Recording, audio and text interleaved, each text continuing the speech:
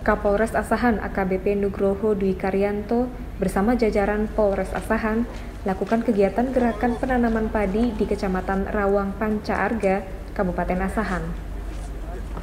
Kegiatan ini berkolaborasi dengan Dinas Pertanian dan kelompok tani di Kecamatan Rawang Panca Arga. Kegiatan gerakan tanam padi ini untuk meningkatkan produktivitas hasil pertanian kelompok tani sebagai bentuk Polri mendukung program pemerintah dalam menjaga ketahanan pangan di tengah wabah COVID-19. Kapolres Asahan juga memberikan bantuan berupa alat penyemprot hama bagi kelompok tani. Dalam sambutannya, Kapolres mengatakan Polres Asahan akan terus memberikan motivasi kepada kelompok tani di Kabupaten Asahan untuk meningkatkan produksi dari hasil pertanian.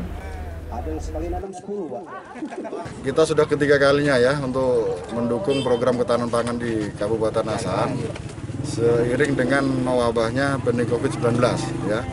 Yang pertama kemarin di Polsek Kota Kisaran itu proses penanaman benih ikan lele sejumlah kurang lebih 30 eh, ekor. Kemudian yang kedua kemarin penanaman jagung hibrida di Padasa dan yang ketiga ini adalah gerakan tanam padi di Desa Rawang Panjarga eh, Pasar 6. Nah, ini kegiatan kami ini selalu berkolaborasi dengan stakeholder terkait, dinas pertanian, kemudian dari TNI, tokoh agama, kelompok tani, ya.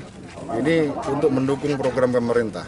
Dalam hal meningkatkan ketahanan pangan walaupun di sini ada lumbungnya ya lumbungnya daripada padi di Kabupaten Asan dan mungkin di Indonesia.